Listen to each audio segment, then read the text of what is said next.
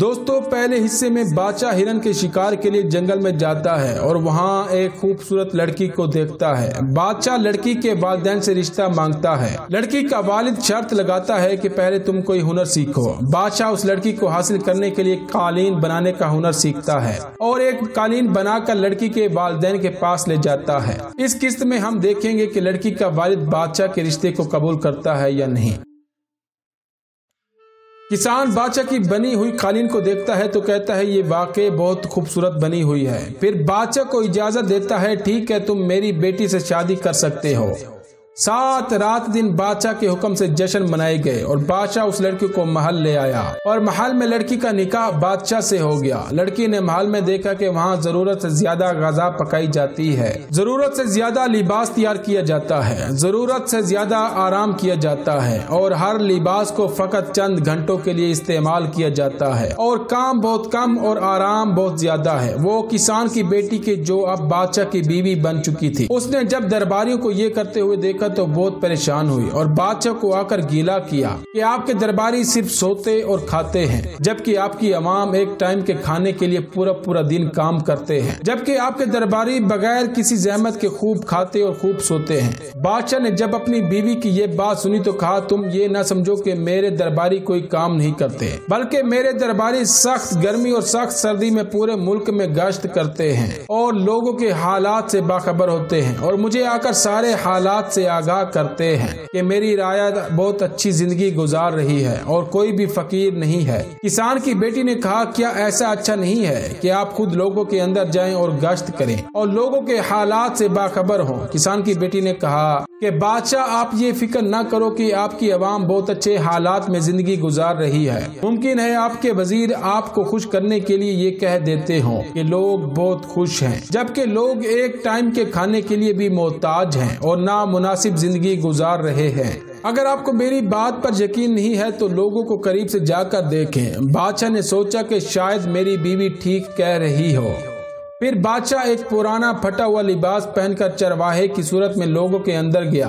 بادشاہ چلتا گیا چلتا گیا، یہاں تک کہ ایک ہجوم کی جگہ پر پہنچ گیا اور وہاں فیصلہ کیا کہ یہاں کچھ دیر آرام کرتا ہوں۔ بادشاہ بھی وہاں رکا ہی تھا۔ تو اس نے ایک آواز سنی۔ بادشاہ نے دیکھا کہ کچھ سپاہی لوگوں کو مار رہے ہیں اور کچھ کھڑے ہو کر تماشا دیکھ رہے ہیں۔ بادشاہ ان سپاہیوں کے پاس گیا اور ان سے پوچھا کہ ان کو کیوں مار رہے ہو؟ ان کا کیا جرم ہے؟ سپاہیوں نے کہا، یہ لوگ غریب ہیں اور ٹیکس نہیں دیتے ہیں۔ اسی وجہ سے ان کو مار رہے ہیں۔ بادشاہ نے جب یہ بات سنی تو سپاہیوں کی طرف دوڑا اور ان سپاہیوں میں سے ایک کو پکڑا اور اپنی طرف کھینچا۔ اور سپاہیوں نے غصے میں آ کر بادشاہ پر حملہ کر دیا اور اپنی پوری طاقت سے بادشاہ کو بہت مارا۔ بادشاہ اس مار کھانے کی وجہ سے بے ہوش ہو گئے اور زمین پر گر گیا اور جب ہوش میں آیا تو دیکھا کہ ابھی تک سپاہی اس کے سر پر کھڑے ہیں۔ بادشاہ نے ان کو کہا کہ تم جانتے ہو تم نے کس کو مارا ہے۔ میں تمہیں بتاؤں گا کہ تم نے کس کو مارا ہے۔ سپاہیوں کے سردار نے کہا کہ ہم نے سوچا تھا کہ اتنی مار کھانے کے بعد تمہیں عقل آ گئی ہوگی۔ لیکن تم انسان بننے والے نہیں ہو۔ کیا تمہارا دوبارہ مار کھانے کو دل کر رہا ہے؟ بادشاہ نے ان کو کہا کہ دوبارہ مجھے نہ مارنا۔ میں تمہارا بادشاہ عقلی ہوں۔ اگر تم لوگوں نے مجھے نہ چھوڑا تو میں تم سب لوگوں کو قید کر دوں گا۔ سپاہی اس کی بات سن کر ہنسے اور اس کو پکڑ کر قید خانے میں ڈال دیا۔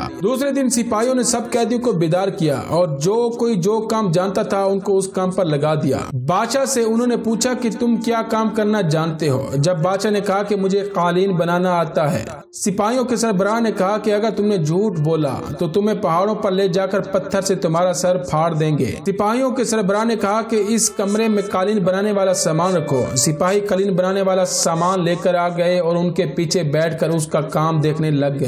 سپاہیوں کے سربراہ نے کہا قالین بنا سکتے ہو تو ٹھیک ہے، اگر نہ بنائی تو اسی سامان سے تمہارا سر باندھ کر تمہیں پھانسی پر لٹکا دیں گے۔ بادشاہ قالین بنانے میں مصروف ہو گیا اور بہت ہی کم وقت میں بہت ہی اچھی قالین بنا ڈالی۔ اور بادشاہ نے وہ قالین سپاہیوں کے سربراہ کو دی۔ قید خانے کا سربراہ اس قالین کو بازار میں بیچنے گیا۔ تو قالین اتنی خوبصورت اور پیاری تھی کہ بازار میں کوئی بھی اس کی مناسب قیمت نہ لگا سکا۔ وہاں پر ایک دکاندار نے کہا، اس قالین کو کسی بڑے شہر میں لے جاؤ۔ شاید کوئی بڑا تاجر اس کی قیمت دے سکے وہ گھوڑے پر اس قالین کو رکھ کر شہر لے گئے، لیکن وہاں پر بھی کوئی تاجر اس کی قیمت نہ لگا سکا۔ وہاں پر موجود ایک تاجر نے کہا، آپ اس قالین کو محل میں لے جاؤ۔ بادشاہ ہی اس کی مناسب قیمت دے سکے گا۔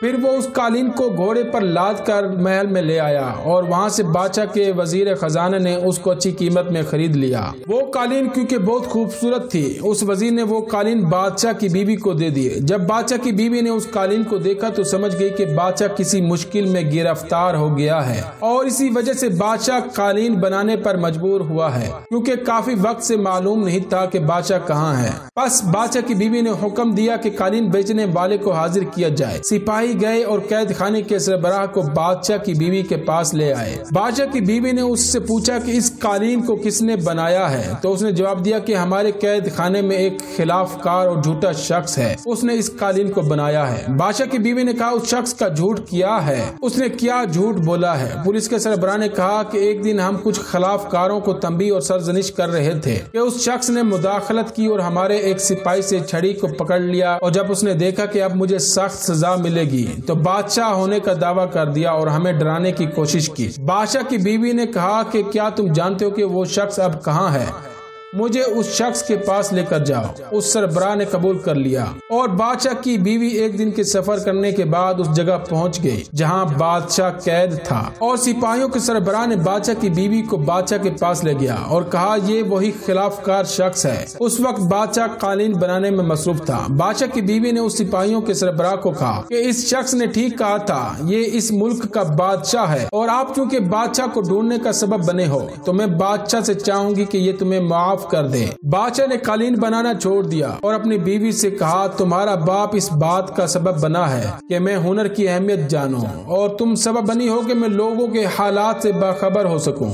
بادشاہ اپنی بیوی اور سپاہیوں کے ساتھ واپس محل گیا اور اپنے سب درباریوں اور وزیروں کو حکم دیا کہ تم سب بھی کوئی نہ کوئی ہنر سیکھو اور کسی بھی سپاہی کو یہ اجازت نہیں ہے کہ وہ لوگوں سے ٹیکس وصول کرے اور یہی بات سبب بنی کہ اس نے عادل و انصاف کے ساتھ لوگوں پر حکومت کی اور کبھی بادشاہ نے لوگوں کے ساتھ نہ حق نہ کیا۔